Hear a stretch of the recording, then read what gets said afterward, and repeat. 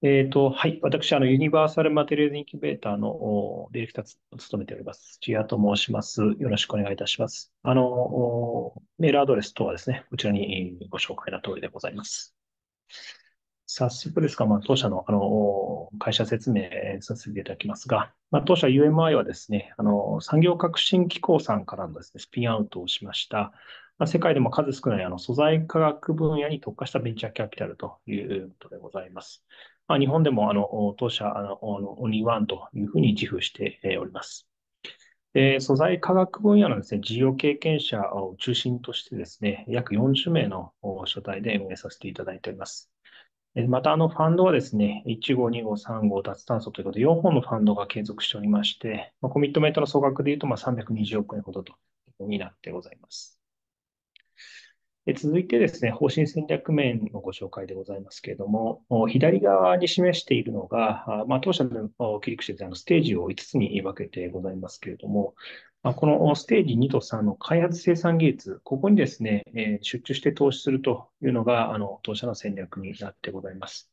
まあ、どうしてもここのですね、えーまあ、素材価格といったものに特化するとですね、この、えーまあ、かけるお金がですね、大きくなりまして、まあ、このリスクマネーを供給する主体に、まあ、なっていくというのが、まあ、我々の戦略でございます。また、あの、積極的なですね、大企業連携をしておりまして、ステージ4、5を、まあ、無理してベンチャーでやりきれないといったところで、大企業のリソースを有効に活用しようということで、広範囲なですね、ネットワークを保有しております。そして、徹底的なですね、ハンズオンの経営支援もしてございます。少し強めのご紹介をしたいと思いますけれども、ま、大企業ネットワークといったような形でございますが、まあ、様々なネットワークございますけど、ここではですね、弊社のファンドに出資していただいている LP 企業様のご紹介になっております。事業会社で約31社という会社さんに参加いただいているまあ、続いて強みの2番目でございますけれども、まあ、このようなですね、先ほどステージ2、3に注力するとありましたけれども、アカデミア技術の事業化能力といったところもやって手掛けておりまして、ここではツバメ BHB 社の例のご紹介でございますけれども、ツバメ BHB 社は、あの、東工大の細野教授のですね、あの、触媒技術を中心としたものでございますが、これはですね、オンサイトアンモニアの製造技術を、えー、作る会社ということで、ツバメ BHP 社を UMI と東工大、あと事業会社のパートナー会社、味の素、この3社でですね、創業、企業創業したといった経験、実績を有してございます。まあ、現在ですね、えー、まあ、50億円、60億円ぐらいのあのお金をトータル、まあ、集めておりますけれども、まあ、あの、様々な事業会社を巻き込んでですね、えー、まあ、あの、進めていっていると。まあ、こういった経験も保有してございます。まあ、3つ目、徹底したハンズオン経営支援ということで、1号ファンドで11件中9社の取締役派遣、まあ、2, 号2号ファンドでも16件中9社ということで、あのまあ、高いコミットメント水準、シェアを握りながら強力なハンズオン支援を実施してございます。これまでのですね、スタートプログラムの実績をお示ししたいと思いますけれども、採択プロジェクトとしてはま3件になってございます。そのうちの1件目のですね、QST 初のベンチャーであるリスティ社に関しましては、あの、まあ、我々、あの、プロモーターと支援させていただきまして、えー、現在、の、1.5億円のシード資金を、まあ、我々拠出して、企業の方をしてございます。まあ、こちらもですね、まあ、私自身がですけども、取締役として、えー、派遣取締役として、えー、あの、リスティ社に出向しておりまして、えーまあ、一緒にですね、えー、事業を盛り立てているという状況でございます。まあ、その他、あの、広島大の案件、ニムスの案件といったものが継続的に、えー、支援をしてさせていただいている状況でございます。で最後にですね、まあ、当社で、え、支援したい技術分野ということで、え、UMI3 号ファンドの注力テーマをご紹と思いますけれども、まあ、再注力の領域はですね、環境エネルギー分野でありまして、ポートフォリオの40%を、まあ、の振り向けると、組み入れるというような想定で、えーま、投資活動をしております。まあ、その他ですね、食のライフサイエンス、電子情報、モビリティ、共通基盤、まあ、こういったところの領域にもですね、えー、興味を持っておりまして、えー、こういったところにも投資検討を進めているといったところでございます。えー、まあ、少しちょっとお時間もありましたけども、ご清聴ありがとうございました。あの、よろしく、どうぞよろしくお願いいたします。平様ありがとうございました。えーっと、まだ少しお時間ございますので、えーっと、伺いたいんですけれども、あの、UMI 様の強みのハンズオンのところのスライドで、まあ、1号、2号ファンドでの、えー多くの経営者の派遣の実績がございますけれども、まあ、D グローバルプログラムでは採択後1年以内に経営者候補の体制参画が求められております。研究者様と経営者候補とのマッチングについて、UMI 様のお考えがあれば、あの、お話お願いできますでしょうか。はい、えー、そうですね。あの、まあ、我々がですね、あの、取締役が、えー、の社外取締役として派遣することも、あの、ございますけれども、まあ、要するに、まあ、CEO とか CXO 候補といたしましては、まあ、弊社の、えー、様々な事業会社とですね、まあ、連携をしておりますし、あの、経営幹部の中も、まあ、あの、多くがですね、事業経験者と、あの、事業会社の経験者というところで、まあ、そういう意味では人的なですね、リファラルなあのネットワーク、経営人材のネットワークをまあ保有しておりますので、あの、まあ、そういう意味ではですね、あの、適切な人材を、この素材価格に適切な人材をまあ派遣していきたいというのが、まあ、当社の強みの一つになっているというふうに考えてございます。ご説明ありがとうございました。それでは、続きまして、MCP アセットマネジメント株式会社様から、えー、片岡様、プレゼンテーションよろしくお願いいたします。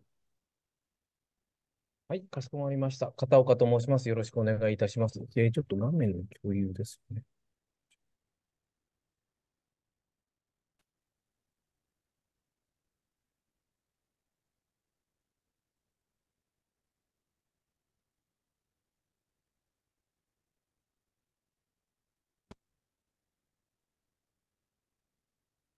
はい、画面が見えております。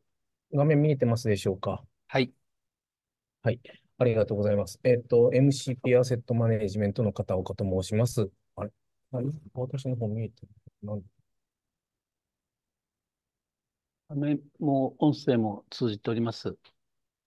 ですか。はい。えっと、MCP アセットマネジメントの片岡と申します。こちらの方に、あの、えー、表紙のページのところに、えっと、ホームページのサイトとか出ております。ここに書いてある内容って大体、大体ここにあるものというふうにご理解いただければよろしいかと思うんですけれども、えー、私の、えー、と、私が、えー、MCP アセットマネジメント株式会社のベンチャーキャピタルプライベートエクイティ投資部のディレクターをやらやらせていただいております、片岡と申します。えー、っと、で、私どものところっていうのは、えー、これ、MCP グループっていうのはですね、すみません。MCP グループと申しますのは、これ、香港に本社を有しております、アジアでは一番大きな規模でやらせていただいております、あの独立系のオルタナティブ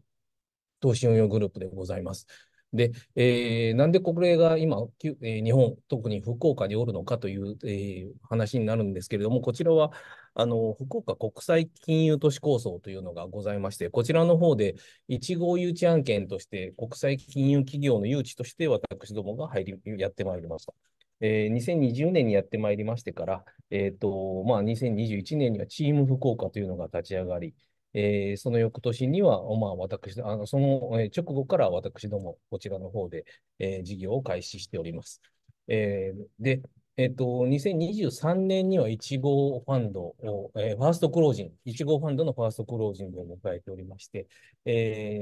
ー、こちらの方で今現在運用を活動をしております。実は私ども参りました当初21年からですね、えっ、ー、と、実際こう、日本、特にこの九州の地でどれくらいマーケットがあるのかという調査をする意味でも、えー、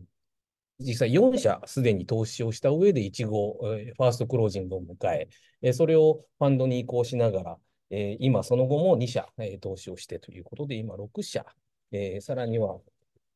えっ、と、もう1社、7社目の投資を今準備しているというような状況ではございます。で、えっ、と、えっ、と、日本における運用会社っていうのが、まあ、そして立ち上げておりますファンドっていうのが、九州発ジャパンエボリューションファンドという名前でやらせていただいておりますけれども、これ、九州に限った話では決してないんですけれども、まあ、6割方を九州で投資していくというようなことをやっているというところでございます。えー、投資理念としまして、こちらには、あの、日本国内には、まあ、世界に誇る技術、えー、こういったものがたくさん、えー、全国各地に偏在しておりまして、え、東京にだけ集中しているわけではなくて、各地域に分散しておりますし、え、このまた、あの、日本政府からも強力な支援、あの、今回のこれもそうだと思うんですけれども、え、支援があってですね、どんどん成長を続けている環境で、えー、この日本企業をグローバル視点で支援して、育成して、私ども2000年からやっておりますので、MCP、ミレニアムコーポレートパートナーズという名前でやらせていただいておりますけれども、えー、まあ、香港を中心に、アジア圏に対して、えー、非常に強いネットワークを持っておりますので、機関投資家さんを中心としたネットワークを持っておりますので、こちらの方を、えー、活用しながら、お客様を紹介し、投資先を紹介し、そして事業につなげていくというような新しい、えー、今までとは違った形の、えー、サポートがしていけるのではないかなと思っております。で、あの、基本的にはリード、もしくは準リードという形で、えー、次のページにもございますが、えー、基本的にはシードアーリーというよりは、どちらかというとミドルレーターというところに、えー、投資をしているチームではございます。で、えー、経営チームとしましては、あのこのインベストメントチームとしましては、まあ、とにかくあの多様な人材ではあるんですけれども、こちらの方、えー、実際投資経験が長いもの、さらには、えーと、経営経験、もしくは金融経験が長いもの、えさらに、えー C えー、ベンチャーキャピタル、ベンチャー事業体の方で、大学発ベンチャーの中で CFO、CMO 事業に、業務に、えー、注力してきたもの、さらには、えー、上場株のアナリストとして活躍をしてきたもの、こういったものがメンバーとしておりまして、え、ブランディング、マーケティングにとどまらずですね、ハンズオンで経営支援でどんどん入っていくという形を取らせていただいております。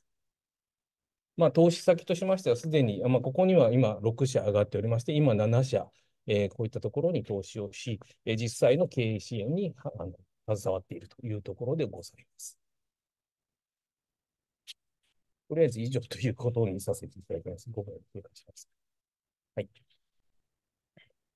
高岡様、ありがとうございました。はい。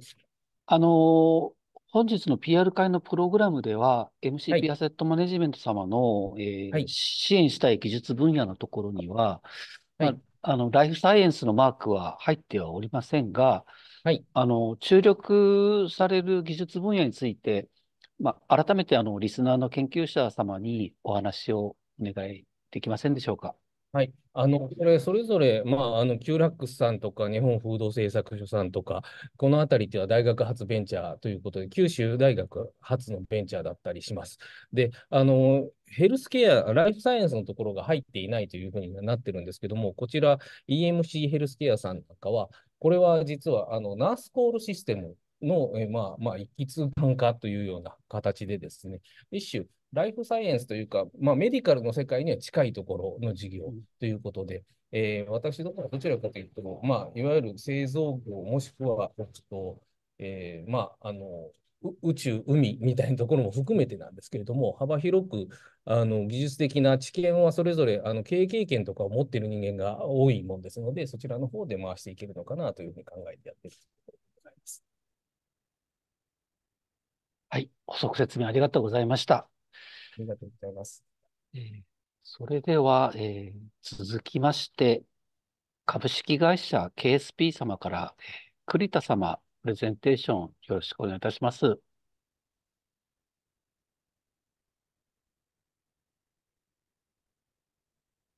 KSP の栗田と申します。よろしくお願いいたします。よろしくお願いします。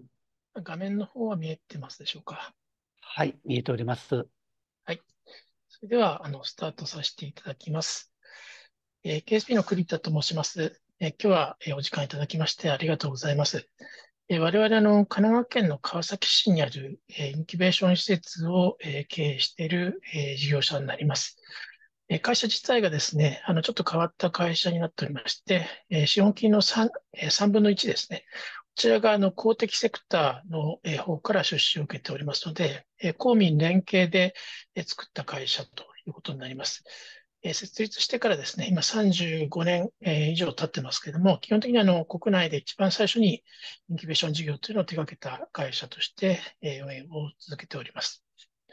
で我々ですね、えー、基本的にあの投資会社ではございませんので、えー、施設運営ですとか、人材育成プログラム、あとはアクセラレーションプログラム、え、あとはベンチャーキャピタル投資、こういったものを複合的に、え実施をしながらですね、え特にあの投資をする前段階の、えシーズをですね、育成して会社設立につなげていく、こういったところにですね、強みを持っている、え会社になります。えー、今日ですね、皆さん、あの、多くのですね、地域からご参加いただいていると思いますけれども、我々、えー、どういった場所にあるかというのをちょっとお示しをしたいと思います。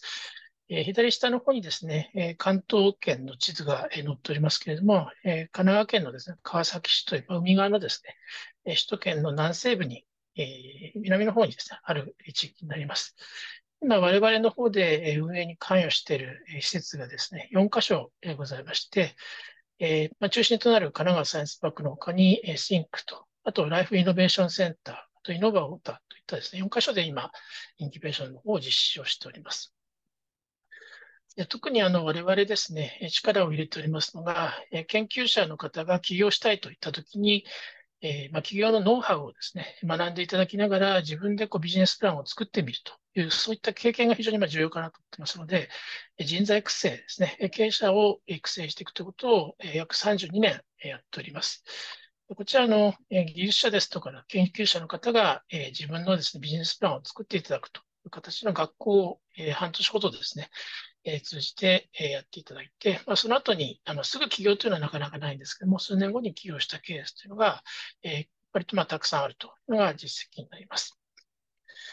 あと今ですね、やってるもので、こちらはもう少しあの企業に対してですね、現実的なお考えを持っている方を対象にしたプログラムなんですけれども、これはあの川崎市と一緒にやっております。で大学のシーズをですね、基本的にあの会社を作る、もしくは会社を作っている方はですね、シリーズへの調達を支援するといったようなプログラムになっております。え当然、あの、すべての会社がですね、うまく立ち上がるわけではありませんし、え資金調達に成功するわけではないんですけども、えその中のですね、何社かに関しては、え資金調達を実際に実現したりとか、あと我々の方からですね、投資をさせていただいて、その後の株主としてのですね、支援を継続して、えやらせていただいているというところがあります。えー、過去ですね、6年間、えー、こちらのプログラムをやっておりまして、約60チームが、えー、実際にこのプログラムから巣立っていってと実績を持っております。また今年ですね、こちらのネドさんの委託事業としてサポートを受けながら今立ち上げをしているところなんですけれども、え特にですね、会社前段階のですね、シーズを、えー、例えばどういうところでですね、このシーズ技術が使えるんだろうという用途を探してきたりとか、あとはその、えお客さんに対してですね、ヒアリングをかけていって、実際にその技術が使えるかどうかという情報を取ったりとかですね、えそういったその投資案件、もしくは会社を作るですね、前段階で事業構想を作るというところを今、えー、我々の方で一生懸命やっております。で、こちらはですね、あの、なかなかこうフルタイムのですね、経営者を雇うというのは難しいので、えパートタイムのですね、え事業会社のビジネスマンの方に参加をしていただいて、我々の方でですね、経営人材を集めて、研究者の方と一緒にプロジェクトチームを組んでですね、えこれは3ヶ月間のあの検討期間なんですけども、ここで、え実際にギャップファンドを取り取りに行くための、え事前調査ですとか、あとはまあデグローバルといった大型資金でもいいと思うんですけれども、そういったところにですね、申請するための青写真を作っていくということを今やっております。でちょうど今ですね、えこちらのプログラムで13プロジェクト、え研究者の方のプロジェクトが立ち上がっておりまして、各プロジェクトに経営人材を紹介しながら、我々の方と一緒にですね、事業計画の青写真を今作っているような段階になります。あとあの、D グローバルの方ですね、2003年度、えー、第1回のところになりますけれども、我々の方で、えー、6社ほどですね、えー、検討していた、あの、いた中でですね、1社、あの、採択をしていただきましたので、えー、こういった、え分野のものもですね、えやっております。最後になりましたけども、ライフサイエンス、環境エネルギーですね、えー、いろんなあの分野、特にあの幅広くですね、こだわらず幅広く募集をしておりますので、えー、ぜひあの企業にですね、お悩みのある方は、えー、ごあのえご質問とかですね、えコンタクトしていただければと思います。えー、どうもありがとうございました。古田様、ありがとうございました。KSP 様の拠点は神奈川県の、まあ、川崎というところですけれども、まあ、実際はあの日本中の研究者様との技術シーズへの支援が行われていると思います。加藤県以外の研究者様との事業化推進体制の構築において何か工夫されている点などありましたらお話をお願いします。はい。あの、我々特にですね、今、あの、地方の国立大学のシーズというのを非常に注目をしておりまして、えー、多くのですね、今、県ですとか、えー、あとはその JST さんのエコシステム事業ですね、こういった採択をされた、えー、大学に対して実際訪問してですね、研究者の方とディスカッションしながら、えー、そのシーズをですね、実際にこう研究者の方と、えー、まあ、事業化するという活動をやっております。あの、基本的にはまあ、足を使ってですね、実際に会いに行くというような、あの、かなりベタなところなんですけども、そういったことを、えー、日常的に行っております。ご説明ありがとうございました。えそれでは、え、続きまして、バイオサイトキャピタル株式会社様から、え、荻野様、え、どうぞよろしくお願いいたします。はい、ご紹介ありがとうございます。バイオサイトキャピタルの荻野と申します。えー、では早速、弊社の説明をさせていただきます。えー、弊社はですね、2002年に創業しまして、一昨年20周年を迎えたベンチャーキャピタルでして、本社は大阪にございます。で、事業としては、ちょうど先ほどの KSP さんと似ているんですけども、えー、投資の事業だけでなくって、ラボの事業、スタートアップ向けのレンタルラボの事業なども組み合わせた総合総合的インキュベーション事業をしております。ラボについては、えー、大阪では阪大吹田キャンパスの近くにある、えー、サイトライフサイエンスパーク、そこの3棟、あと、えー、神奈川県の方では新川崎の慶応大学 K スクエアタウンキャンパスの隣にある3棟、あと沖縄県うるま市の1棟、合わせて7棟のインキュベーション施設を運営しております。でそこに入居するスタートアップの支援も日常的に行っております。まあ、我々このように全国各地に、え拠点があることもありまして、えー、基本方針としては、地方、中央に関わらず、日本の大学には有望な技術シーズがたくさん眠っているだろうということを考えています。でそうした有望なシーズをですね、このイノベーティブでグローバルに、えー、通用する大学発スタートアップの創出を目指すということを考えています。で、事業育成戦略としましては、えー、まずは、えー、知財、えー、市場調査、こういうのを通じて知財を磨くということを重視します。えー、その上で事業性、市場性などを検証し、研究開発計画を立案し、一緒にプロジェクトを伴走します。弊社の強みとしましては、一つには、えー、科学顧問チームを蘇生している点です。え、先端医療領域での企業経験や製薬会社での実務経験のある研究者に科学顧問をお願いしております。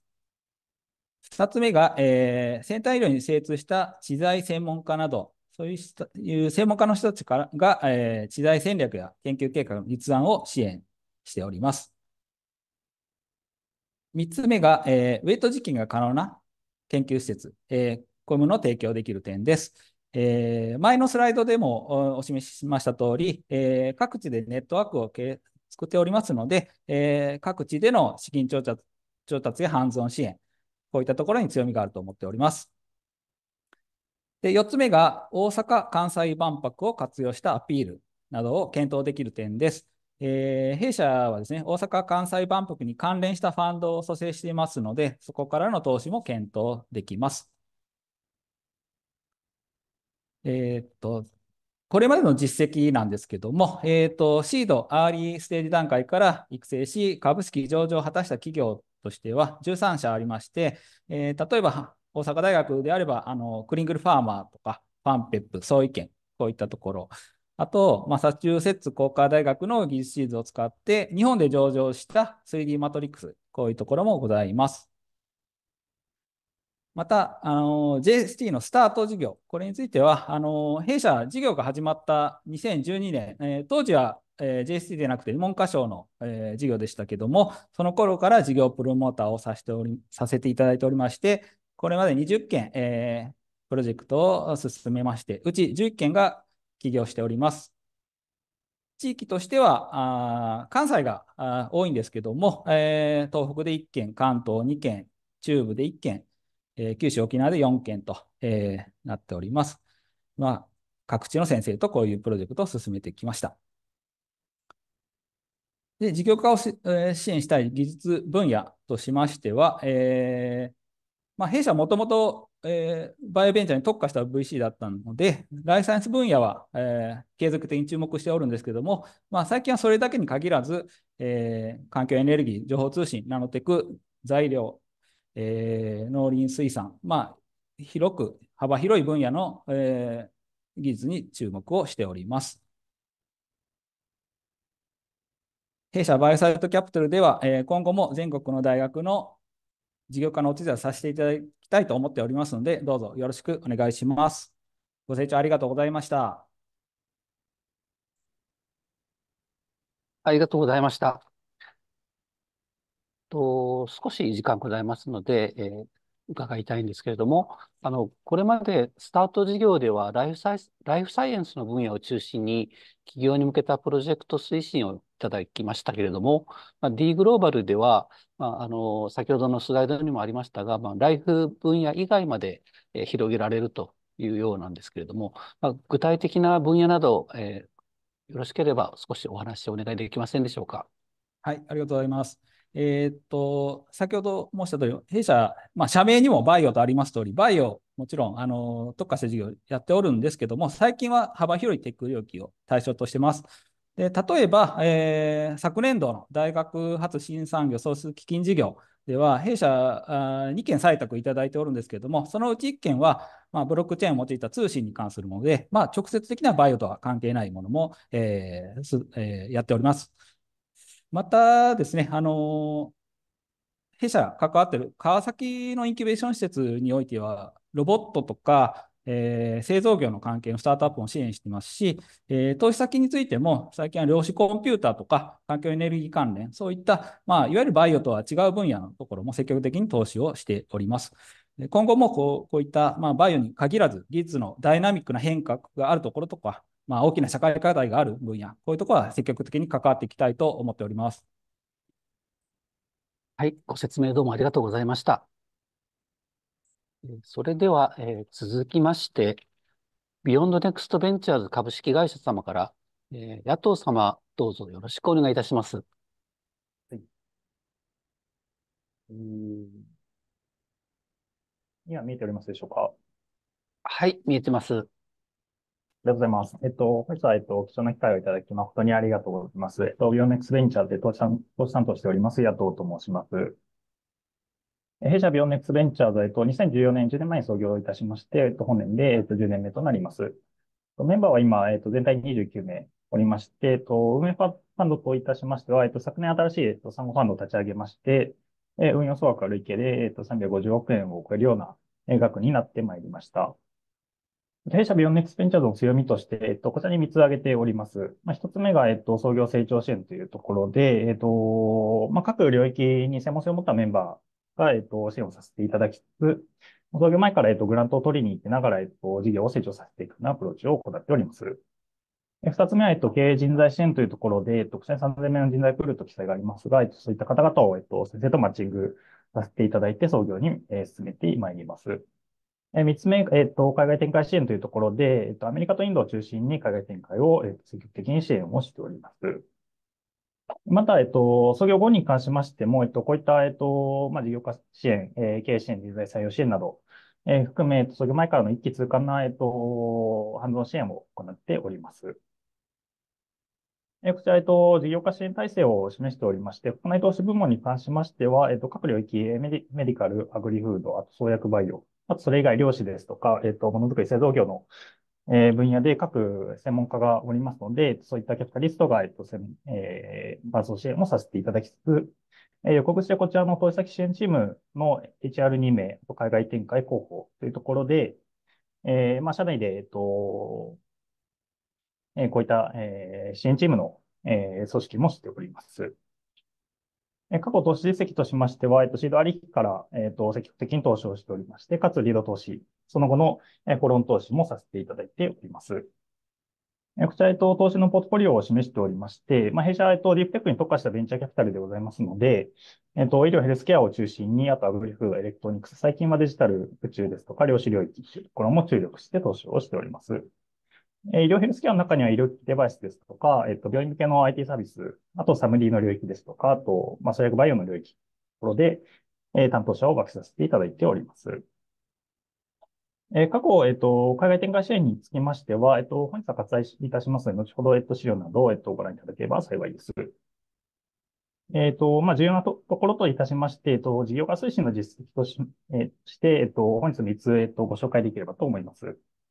まあ、一つ目が、えっと、カンパニークリエーションと呼ばれる、まあ、最近トレンドとして、えっと、えー、話題に上がること多いですけれども、我々以前から行っておりまして、えっと、まあ、えっと、先生方が持たれている技術シーズと、まあ、我々の、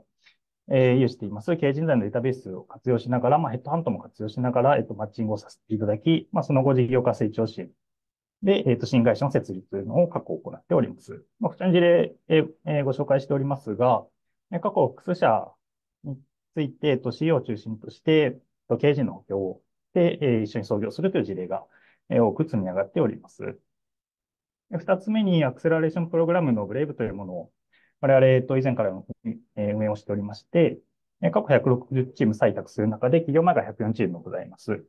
この104チームの中から、53社過去、起業しているというところで、まあ、半数以上が企業に結びついております。でその中で、と、経営陣のマッチングも、えっと、行っておりまして、累計で450名以上のマッチングをする中で、えー、まあ、卒業生の、えー、資金調達額が500億円以上というところで、まあ、このディープテック業界での、まあ、クセラの中でもかなり大きくなってきたんじゃないかなというふうに自負をしております。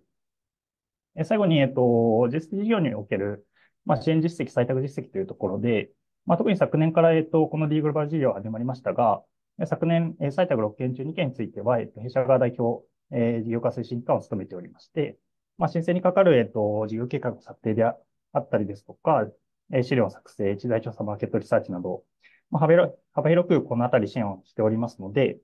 えっと、まあ、ぜひご検討いただければ幸いです。また過去 JST スタートに関しましても、100%が起業するなど、まあ、実績を有しております。最後に、えっと、事業化を支援した技術分野といたしましては、えここに5つ挙げさせていただいております。まあ、一つが医療ヘルスケア。で、その、えー、製薬バイオ、アグリフード、デジタル宇宙、あと横串でクライメットテック全般を支援をしておりますので、えー、このあたりの、えっ、と、シーズで、えっ、と、申請をご検討いただい、えー、ご検討いただいている方、えー、いらっしゃいましたら、ぜひ、お問い合わせいただければ幸いです。まあ、最後に少し余談になりますが、えっと、まあ、今回、えっと、リーグローバルに、の申請については、まあ、いろいろノウハウがあるところではございますので、まあ、こういった、えっと、オンラインセッションを開催する予定なので、まあ、5月7日56時でお時間ある方はぜひ、えっと、ご参加いただければ幸いです。はい。ありがとうございました。野党様、ありがとうございました。えっと、ビヨンドネクストベンチャーズ様は、その、先ほどもご紹介ありましたけれども、まあ、 BRAVE という独自のプログラムで、あの、多くの事業化推進の実績がございますけれども、技術シーズを持つ研究者様と事業戦略を作り上げる際に、はい、大切にされているポイントとかありましたら、あの、お話をお願いいたします。ありがとうございます。えっと、その点に関しましては、えっと、まあ、最大限、その研究者さんの持たれている技術シーズを、まあ、尊重した形で、まあ、必ずその、まあ、反発っていうのはある程度起きる一方で、やっぱりその先生方の、えー、これまで積み重ねられてきたそのご研究っていうのはすごく、まあ、尊重しつつ、まあ、そこにフィットするような形で、まあ、同じビジョンを有する、えっ、ー、と、経営人材候補のか、候補の方々を、まあ、我々も介してマッチングさせていただいて、お互いウィンウィンな形で創業できるというところは、まあ、かなり、えっ、ー、と、注力して支援をさせていただいております。ありがとうございました。えー、どうもありがとうございました。ありがとうございます。続きまして、えー、エンジェルブリッジ株式会社様から、えー、笠井様、プレゼンテーションよろしくお願いいたします。あ、エンジェルブリッジ笠井と申します。よろしくお願いいたします。はい。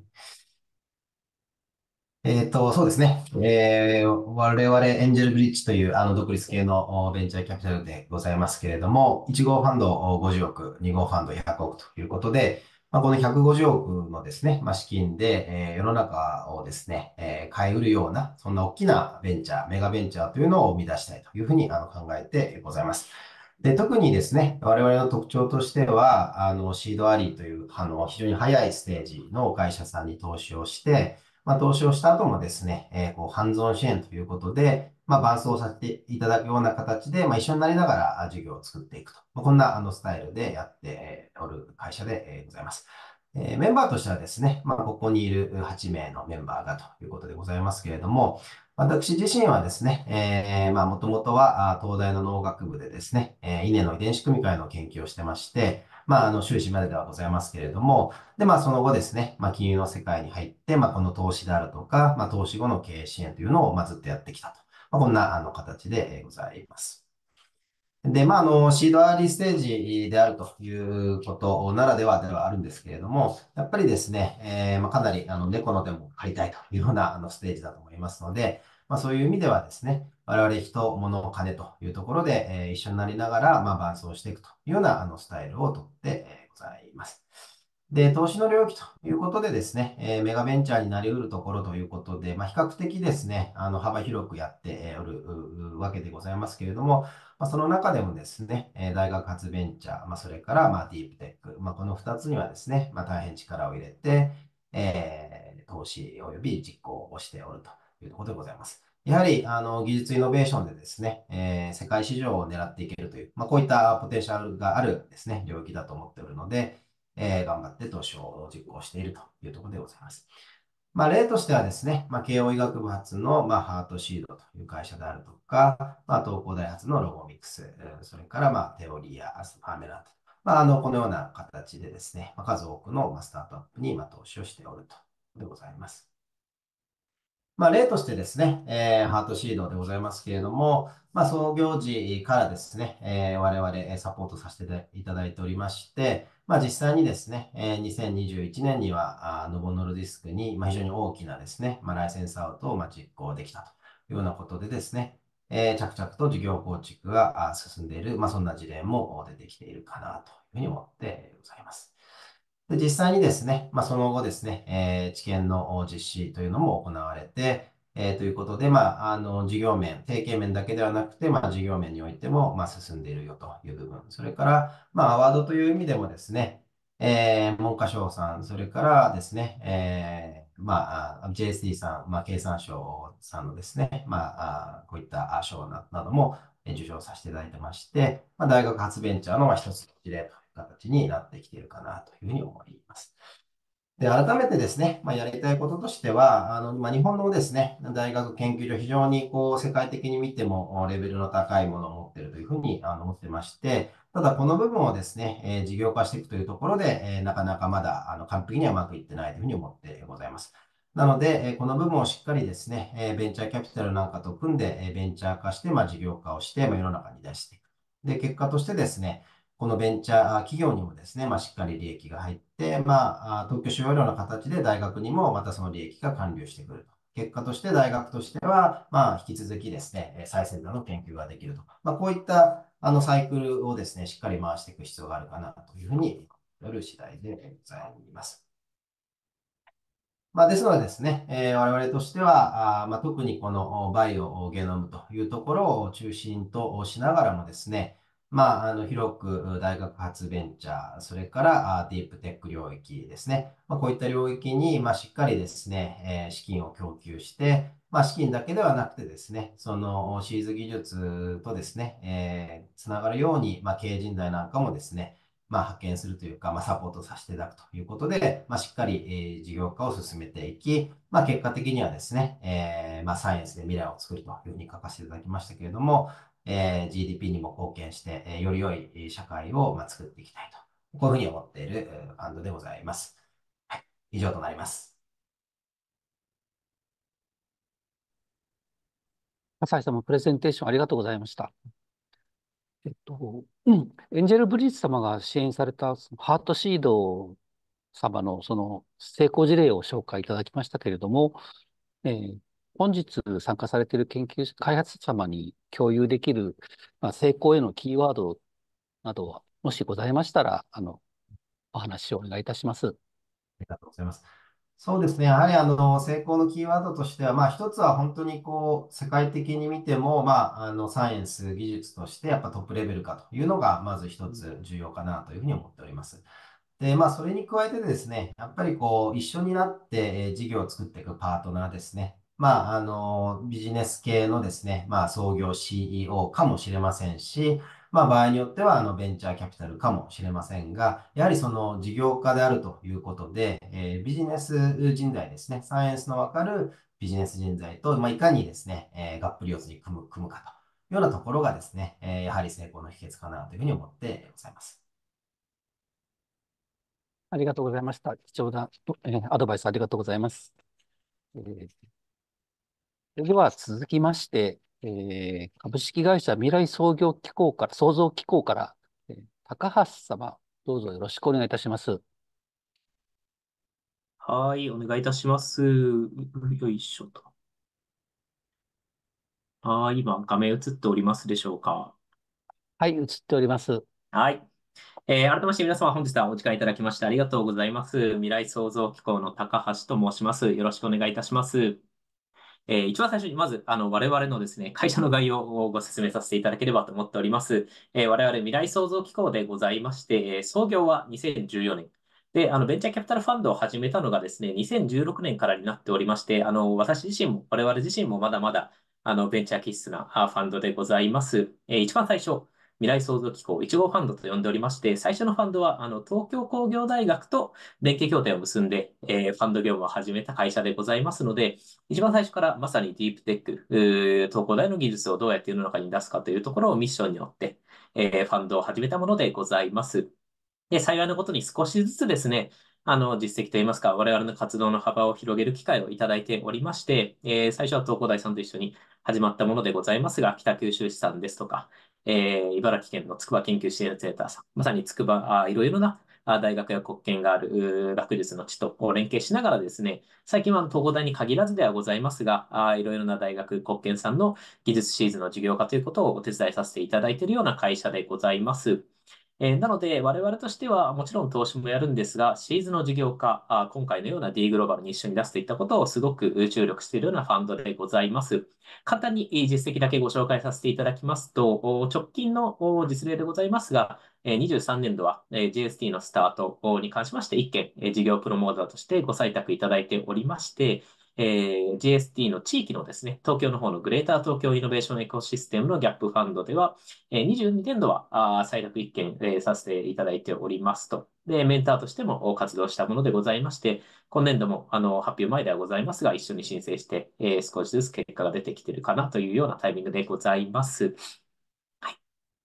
で、改めまして、あの、未来創造機構に通じまして、あの、次、私のご紹介でございます。本日、あの、紹介しておりますのが、高橋と申しまして、私、あの、未来創造機構でグロースチームという責任者をやってございます。で、グロースチームが何なのかというお話でございまして、まさにこの創業前の研究シリーズの事業化というところをやっているチームでございますので、あの、皆様もし一緒にご応募いただきたいと思っていただいた場合はですね、あの、ぜひぜひ私とコミュニケーションさせていただくことになるかなと思っております。よろしくお願いいたします。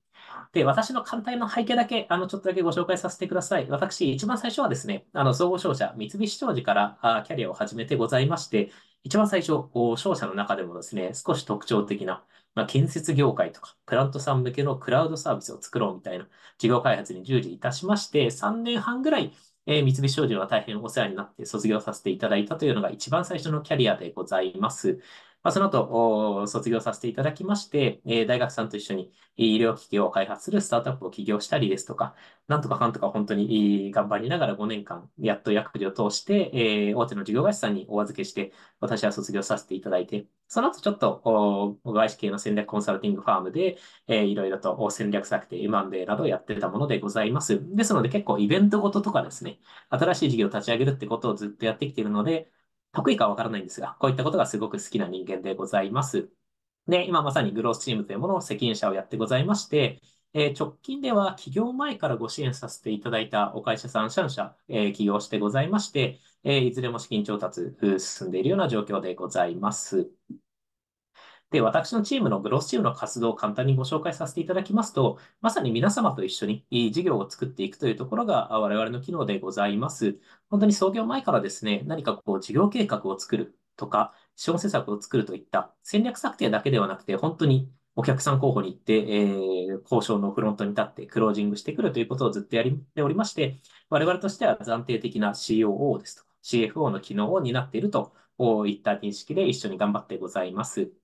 で、私のチームの中で、えちょっとだけご紹介させていただきたいのが、最近、客員起業家 EIR という採用制度を設けてございます。えー、我々の会社でですね、将来、皆様のような研究者の方と一緒に起業をしたいという経営者候補を採用しておりまして、え起業前から事業家のご支援をして、一緒にこう目線があって、えこの方とやりたいと思っていただいたら、我々の会社を卒業して、えその皆様と一緒に起業する、そういった採用制度をやってございます。本当に業界のスペシャリストの方ですとか、え企業経験がある方、あお医者さんもともとやってて、え戦略コンサルティングファームにいた方、え一度スタートアップ立ち上げて上場した後に、こちら弊社に来た人間、いろんな方がおりまして、ぜひぜひ皆様とディスカッションさせていただきたいと思ってございます。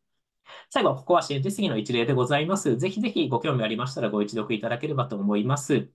はい。ぜひぜひ我々の方、ご支援といいますか、あコミュニケーションしていただければ幸いです。よろしくお願いいたします。高橋様、ありがとうございました。はい、ありがとうございます。えっと、まだ少しお時間ございますので、えっと、伺いたいんですけれども、はい、お願いします。D グローバルプログラムでは、採択後の1年以内に経営者候補の、はい、えー、体制参画が求められております。はい。えー、経営者候補の確保が、えー、御社のその EIR の制度と効果的につながれば良いと思うのですけれども、はいうん、こういったところ、どのようにお考えでしょうか？まさに、あのおっしゃる通りでございまして、1年と言わずに、もう申請段階から、あ我々の EIR とコミュニケーションして一緒に申請書を出していただきたいなと思ってございますし、今載せているもの、フルタイムの人間3名と兼業3名だけでございますが、あの、プールといったら失礼ですけど、いろんな経営者候補とコミュニケーションしておりますので、プロジェクトのになる前からいろいろとコミュニケーションさせていただくことが多いですね。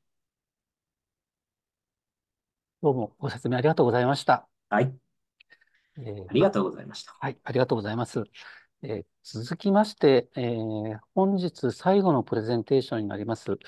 株式会社三井住友銀行から、えー、玉川様、どうぞよろしくお願いいたします。はい、よろしくお願いいたします。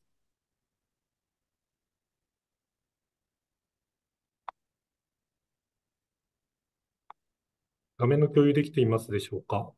はい、見えております。はい。それでは三井住友銀行 SMBC ベンチャーキャピタルが共同で、えー、事業化推進機関として、えー、玉川が説明させていただきます。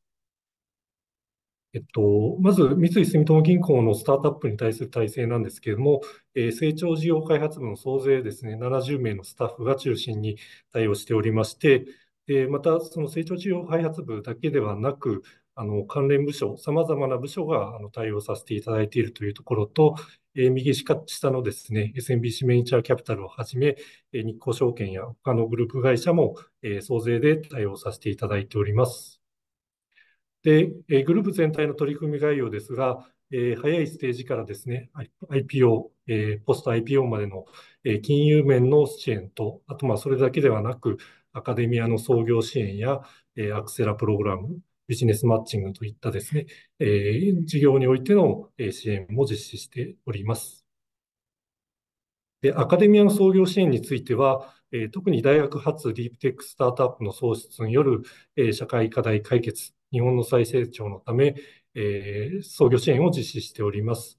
で支援分野はですね、特にあの絞ることなく、ライフサイエンス、アグリカルチャー、環境エネルギー、ナノテクノロジー、材料と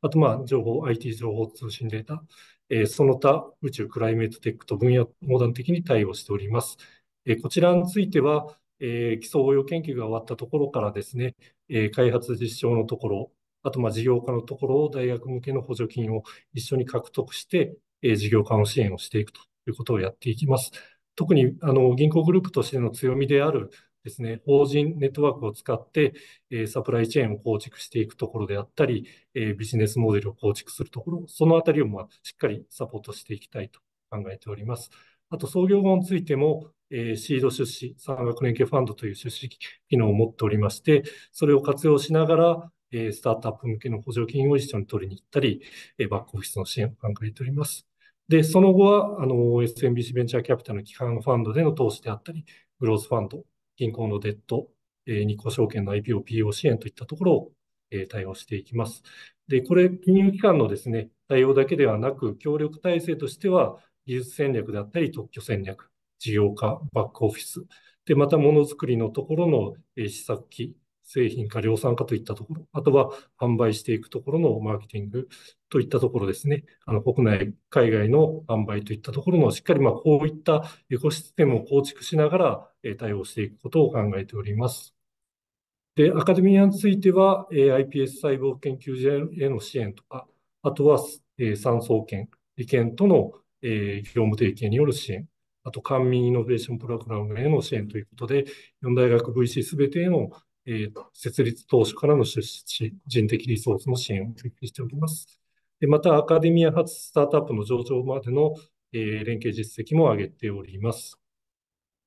で、SMBC ベンチャーキャピタルについてはですね、えー、これまでに2010年以降、900件超650円、えー、50億円の投資を行っております。で、近年では年間100件ぐらいのですね、投資を行っていると。で、投資先のポートフォリオについても、えシードから、えレーターまで、また業種別も幅広く投資をしておりまして、2022年度までに、え118社の、え IPO 実績、2022年度は、11社が、新規上場を果たしております。その他にスタートアップ向け融資もありまして、これは VC が投資したところにレバレッジをかけるようなことをやっております。でまた日興証券についても、えー、特にまあディープテックのですね、上場支援実績はしっかりありまして、近年では国内でもトップクラスのですね、実績を上げております。で、あとアクセラレーションプログラム、未来クロスというものを、えやらせていただいておりまして、2015年から累計して400社のですね、アクセラレーション、メンタリングと、あとは最終審査会といったピッチをやっております。今年度も実施する予定です。で、え米国での口座開設支援ということで、SMBC の、えマニバンクと連携してですね、スタートアップの米国での口座開設も支援しています。そしてグローバルネットワークということで、え特にあの北米ですね、西海岸、東海岸と東南アジア、シンガポールタイでの、え拠点を構築しておりまして、えそそのあたりのアクセラレーター、VC との連携も実施しております。以上になります。